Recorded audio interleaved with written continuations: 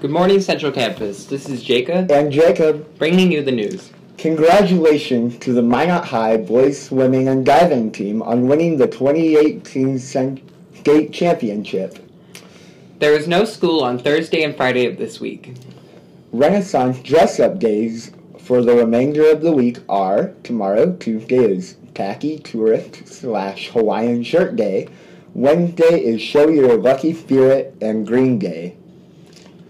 Any 10th grader who is interested in doing a summer internship should see his counselor for an application. Internships give a student the opportunity to gain experience in prospective career fields. While earning one half credit, the student must be 16 years old. Students who are interested in playing girls softball should attend the parent athlete meeting on Tuesday, March 6th at 7 p.m. in the Magic City campus commons. An open gym follows the meeting.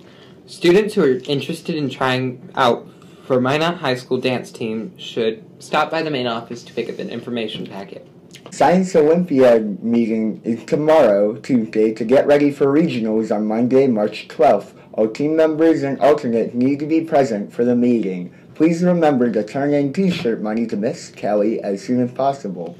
Key Club meets tomorrow at 3 o'clock in Miss Francis's room, room 319. Happy birthday to Miss Julie Cuman, Nevaeh Miller, Coy Schlosser, and Erica Spin.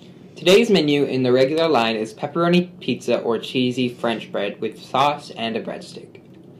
Have a wonderful day, Central Campus, and don't freeze to death.